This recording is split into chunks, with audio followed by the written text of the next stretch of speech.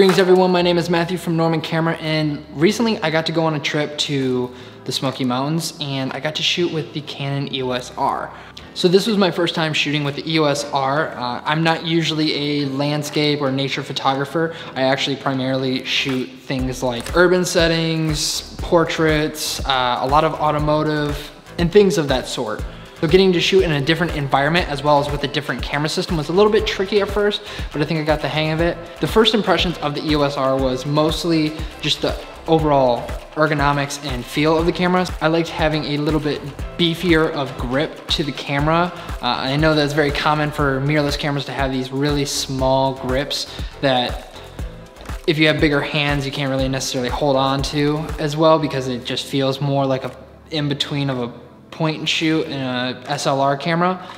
Uh, but the EOS R has a very stocky grip to it, uh, even it, though my pinky sometimes does slip off. Uh, but that's me even having like skinny hands, you know, just holding it.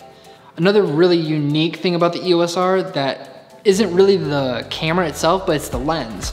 These RF lenses don't just have your normal zoom rockers or focus wheels, they also have a third control ring.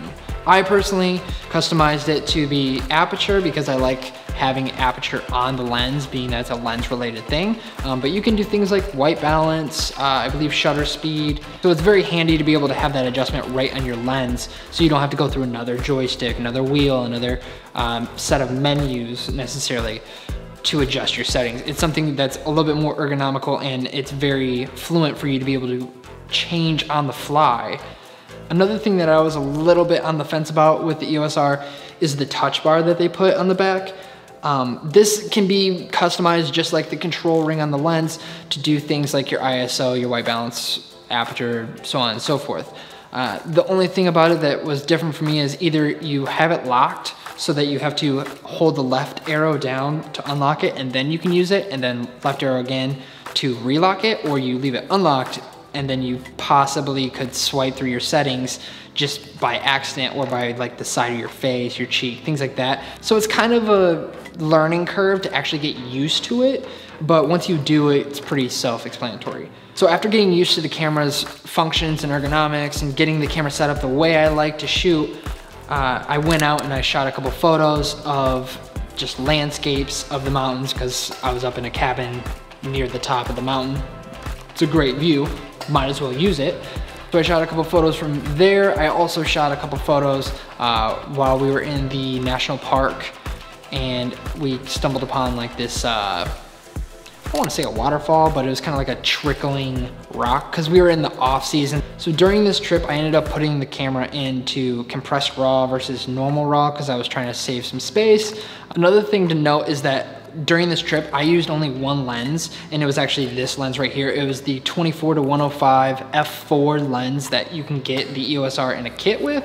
Uh, my main reason for just choosing this is I wanted to kind of treat the opportunity to shoot with the camera the same as if I was just going to pick up the camera myself and get a starter kit and just see what the, the possibilities you could get out of photos and how it functions just out of the box with a standard kit versus getting, you know, like the 28 to 70 f2 or the 51 2 plus the 24 to 105 was a very versatile lens. It had a wide range of focal lengths I could use and it was pretty consistent being that it was the f4 so it was sharp photos but also allowing me to either get those wide landscape shots or be able to punch in and get kind of a more uh, zoomed in, more intimate style photo when it came to other things like shooting little detail shots of whatever environment I was in.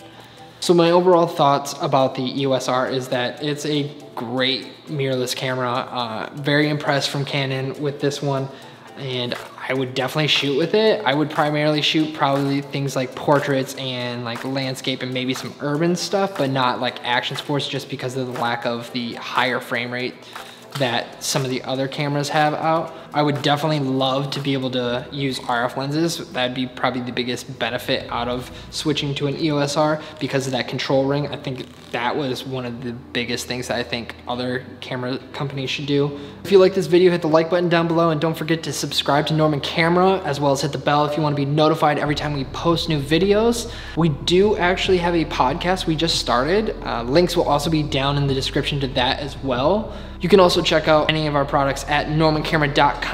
And until next time, keep on shooting.